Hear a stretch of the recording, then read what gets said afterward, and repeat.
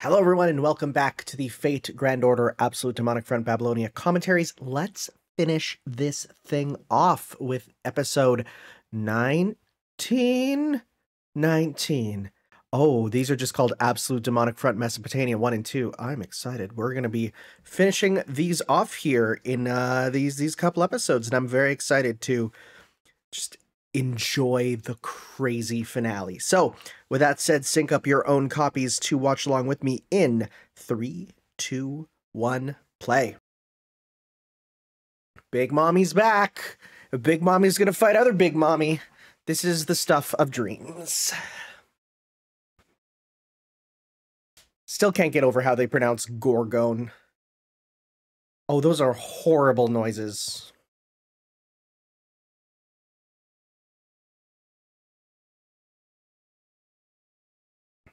It is interesting that we're having this fight between Tiamat and Tiamat, and yet there's a whole other Tiamat who's not even here, Kingprotea.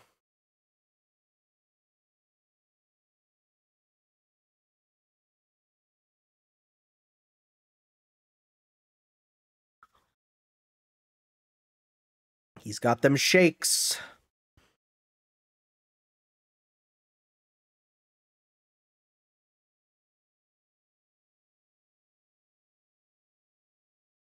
Oh, yo.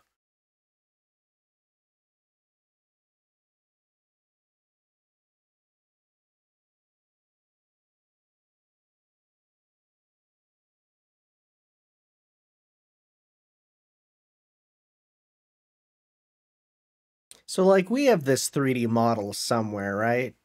Just asking. There could be some cool stuff. Because she's not in. Oh, yeah, we know, by the way. Uh, she's not in arcade, I don't think, right? Hmm. Love to see her there.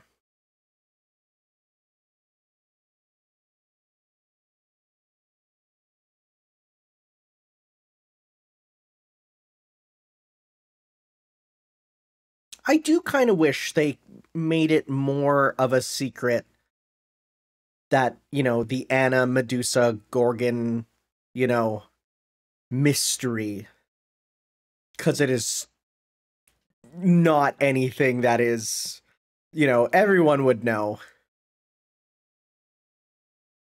Oh is she gonna turn into her her hollow ataraxia form? Yo!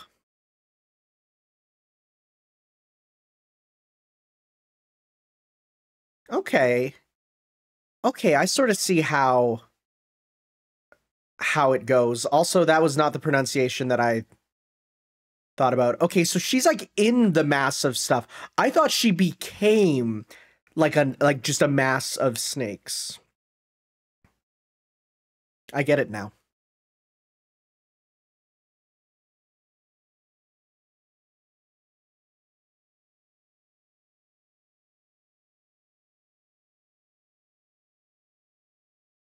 That's creepy. That's creepy.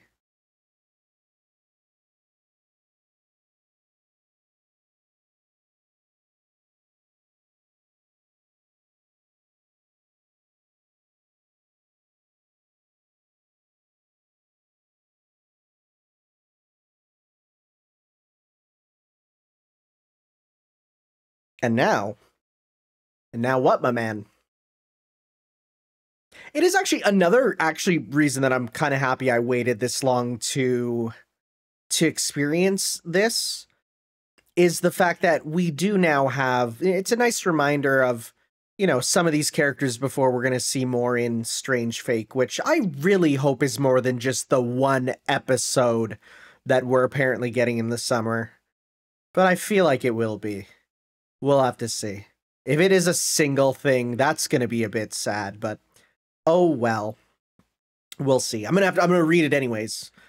Because I was playing uh, Witch on the Holy Night recently, and uh, I came across a reference to a dead apostle, and I'm like, oh cool, that's cool. Is, is, and I just want to double check if that if I was correct about which one. And then when I went to click on their wiki page, I'm like, oh, it says strange fake. Oh, which if we're getting some dead apostles in uh in strange fake then i am extremely interested too Anyways, Benkei is now my bro because my man wears a flat cap. So he's like, he's on my friend list. Benkei, you and me can go hang out. Flat cap bros. I hope we go back to the original opening for the last episode. I really do. Or at least have it play as like an insert song, you know?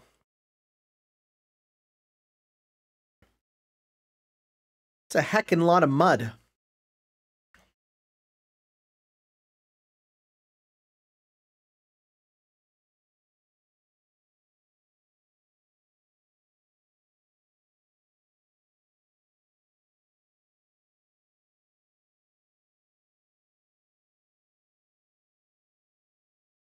It's a dang good thing this will all be fixed once uh singularity's fixed, right? Which is I yeah, I completely missed I completely forgot that yes, the singularity fixes itself. So Siduri surviving is you know, it makes sense. Okay. Now her being around wouldn't make much sense until you remember that well technically she's property of Gilgamesh, so it's fine.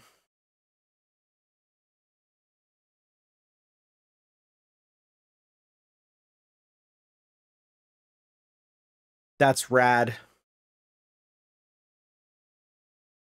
That's rad. Whoa, why is his sweat going upwards?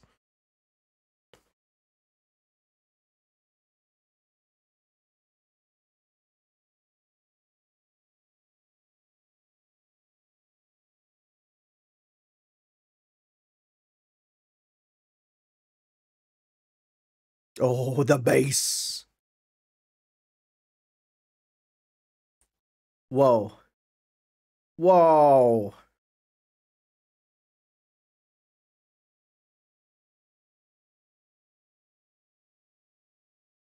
Yeah, he'll survive. He'll survive.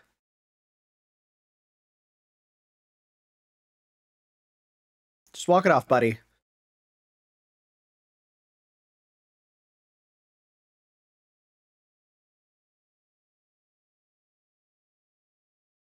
He is real cool.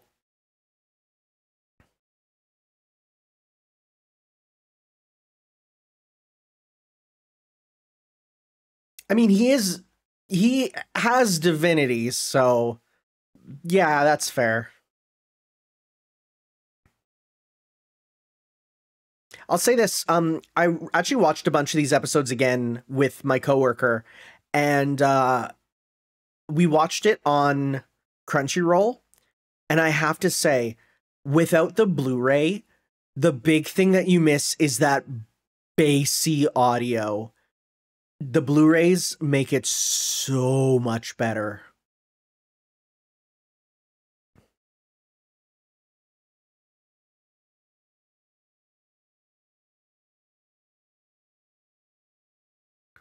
See, those moments where I'm just like, man, I love that multiple Fate Musos exist.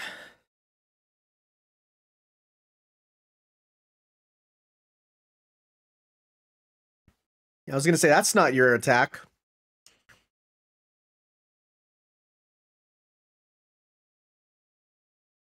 Yo.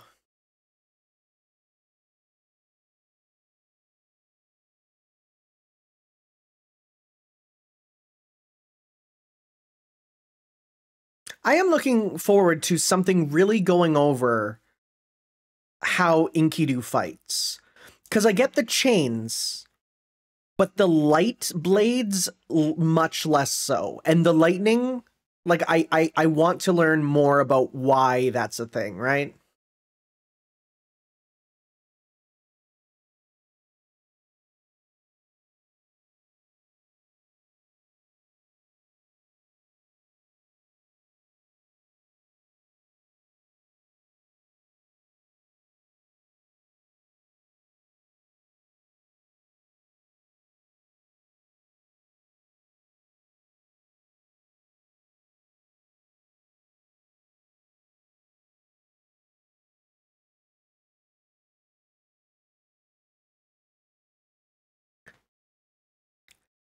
I almost want to hear what the Lahmu sound like in Japanese because it's not what I would have expected in English. And I feel like the same idea might work better in Japanese, you know?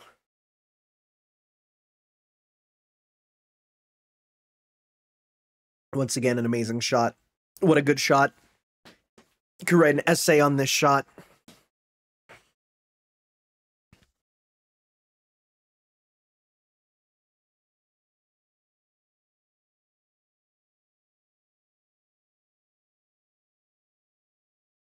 I can't stop looking at that symbol though on the chest, like the cut. It's just the Mega Man Star Force symbol.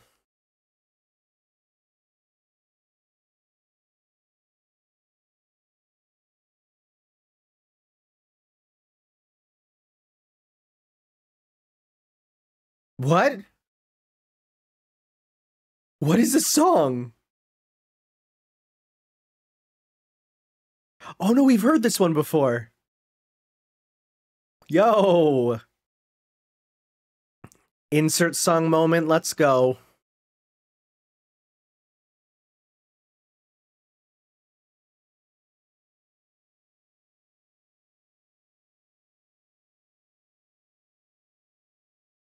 I just can't get over though that the beginning of the song sounds like a mainstream like like like it sounds like a Taylor Swift song, right? It just feels like an AMV moment. But it's good at the same time. Yo.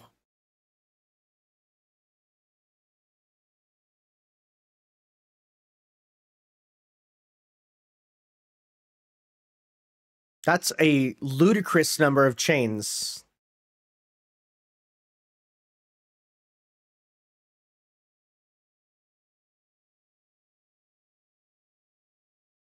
Yo.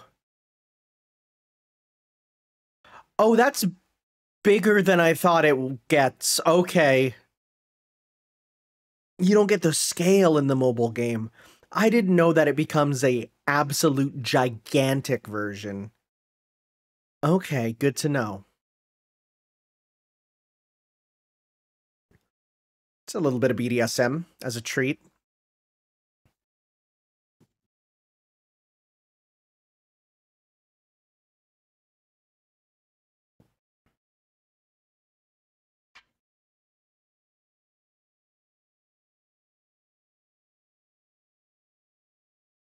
I mean, yeah, it is a it's doing its job.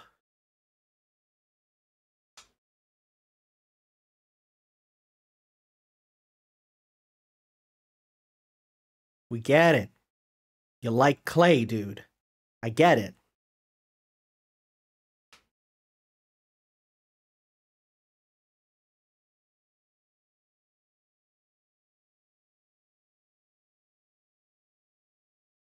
I do really like the even the non-remix background tracks. Real solid.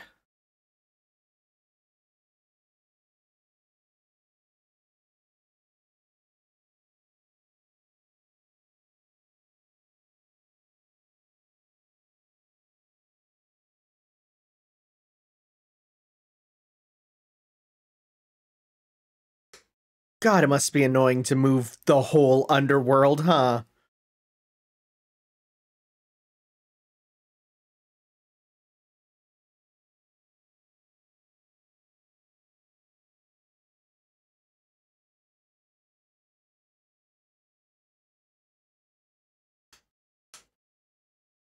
Oh, she's just doing a point blank shot straight down, huh? Yo, okay. That's kind of sick, actually.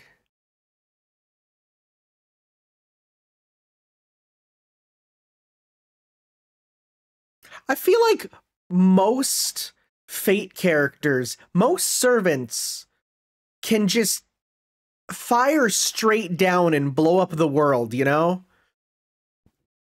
I feel like every every noble phantasm has the power to just like just destroy the world if fired incorrectly.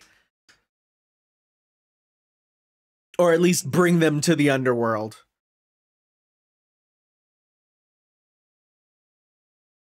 See, again, this is where I'd be like, no, Gil, but I mean, I played the game and I know that he has his great moment later. Oh. Well, that's nice.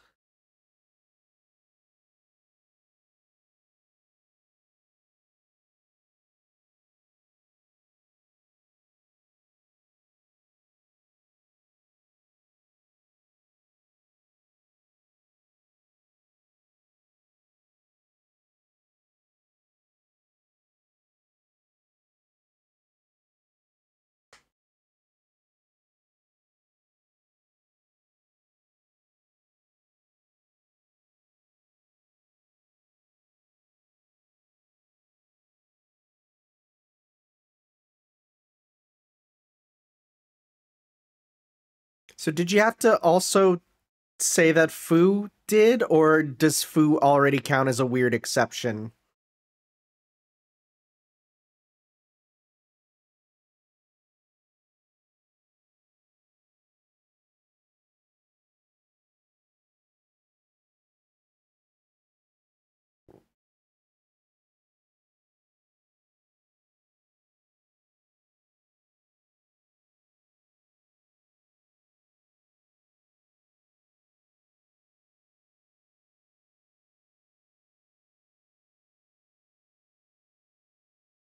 I th- her blade is cool.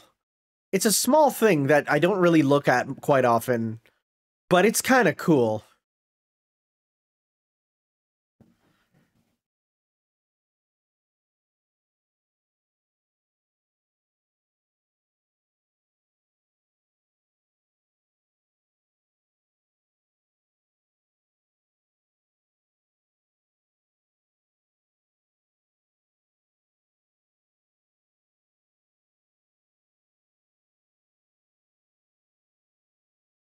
No, she was so confident.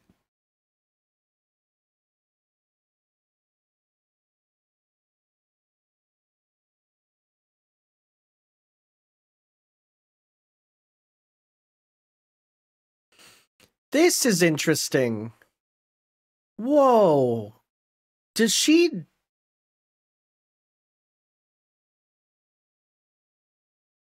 Okay, I never noticed that it was like dragon like, which again, I don't know much about what's happening in the current Japanese story of Grand Order, but the concept of ancient beings that are dinosaur slash dragon like, that's real interesting now. Huh. I never really noticed that her design changes so drastically to being so ancient. Hmm.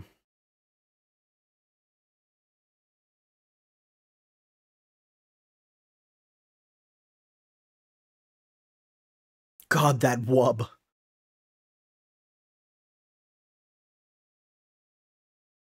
It's ya boy.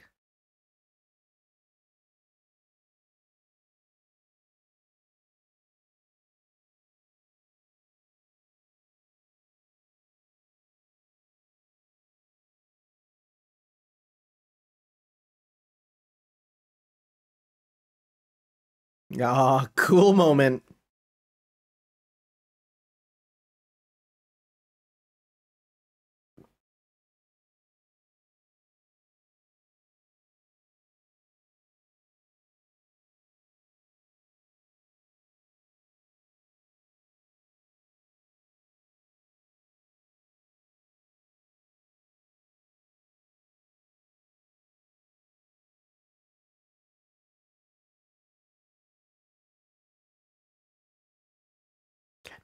And I, I feel like I feel like this is such a thing that Fate does quite a bit. Whenever there's rules, they're always broken. Always. The whole thing of oh he has to say no, they'll break the rules. Oh, there's seven classes. No, we're gonna break the rules. There's more. Okay, there's extra classes. No, we're gonna break the rules. There's more. The Fate franchise is built on breaking rules, and that's fine. I don't see a problem with that. Uh, they fly now.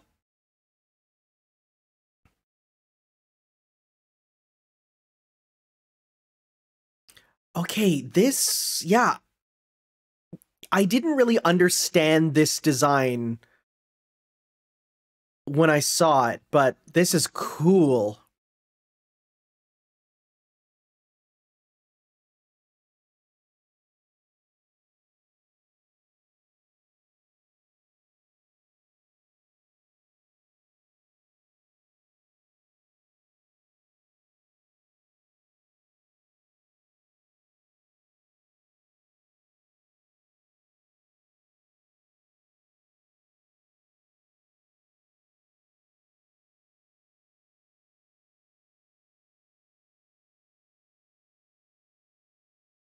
Honestly, this one kind of is a is a top for a while.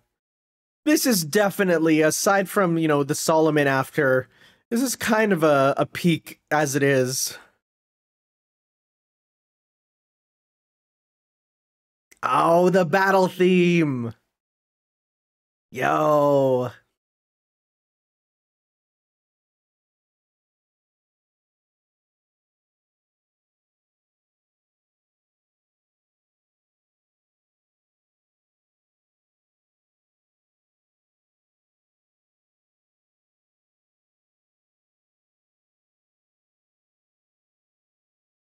Right.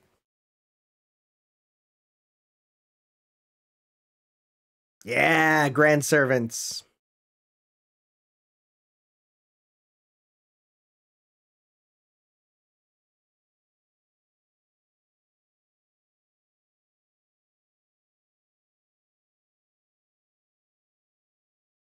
God, he's so cool.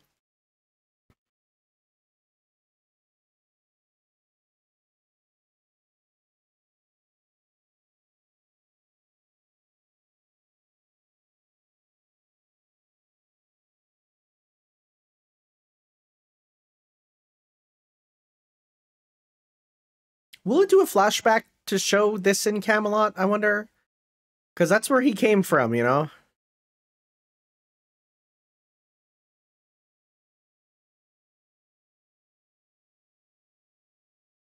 God, he's so cool. God, he's so cool.